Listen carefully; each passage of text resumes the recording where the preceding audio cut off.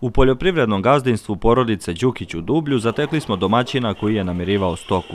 U svojim oborima trenutno ima oko 50 ovljenika, isto toliko krmača u stajama i tovnu junad. Trenutna situacija je teška, kaže Nebojša Đukić. Cena proizvedenog e, svinčeta je oko 14.000 dinara. Znači mi se tu nigde ne uklapamo. Sad gubimo po 2.000 dinara na na cenu svinja. E, sojina sačma je skupa, premiksi skupi, sve je skupo, nas nema nigde. U ovom domaćinstvu mnogo se radi, objekti su funkcionalni, prasilište sa hranilicama i razbojima izgrađeno je po svim standardima. Pretežno se gaji rasa Yorkshire, ali i Durok. Zastoj u otkupu i niska cena tovljenika već duži period ugrožava decenijsku proizvodnju domaćinstva. Čunice je bilo prošle godine do negde juna, jula meseca, od e, juna, jula, znači katastrofa i sa prasadima. E, počeo je uvoz prasadi, e, prasa su 150 do 180 dinara, znači ni tu nas nema nigde.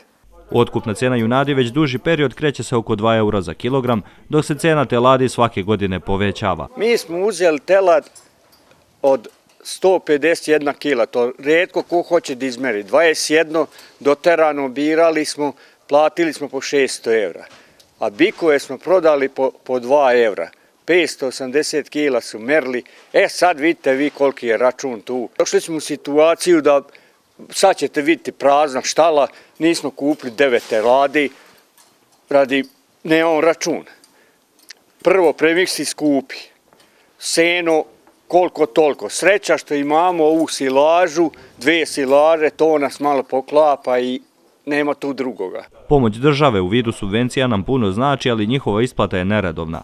Nisu nam isplaćene prošlogodišnje subvencije po hektaru biljne proizvodnje i tov stoke, ističe Branislav. Država im trenutno duguje oko 250.000 dinara. Godišnje se proizvede oko 1000 prasadi. Oko 300 ostavlja se u tovu, a preostali se prodaju. Kako dalje, pitali smo Nebojšu. Tovljenik bi trebao bude najmanje od, znači da pričamo realno 170 dinara. Prase ne bi smjela bude ispod 250 dinara da bi nešto i ostalo.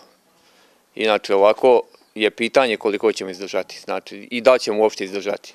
Ko radi, taj ima, kažu ljudi. Istorija nas je naučila da kad seljak ima, pretekne za sve. Od njihove izdržljivosti i upornosti zavisit će i sudbina srpskog sela.